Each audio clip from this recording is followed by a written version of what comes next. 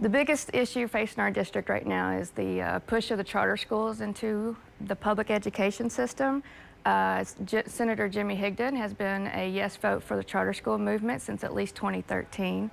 And uh, as we've seen that take over in other states, it has caused a lot of issues with the budget uh, and hurt public education there. So I wanted to give the people a choice come November to either have charter schools or public education.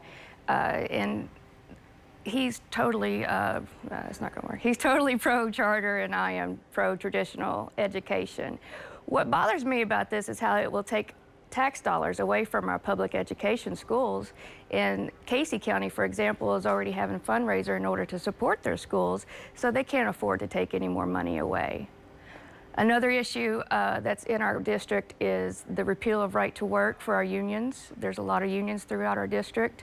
They're reaching out for help uh, to stop that movement of the Koch agenda of um, the right to work and repeal of the prevailing wage. So one of the first things I'd like to do, which has already been submitted into the for next year, is to vote to repeal right to work and reinstate repeal re- prevailing wage. Um, and then anything else that we can do for the working class people, such as reduce the high deductibles and high prescriptions and premiums.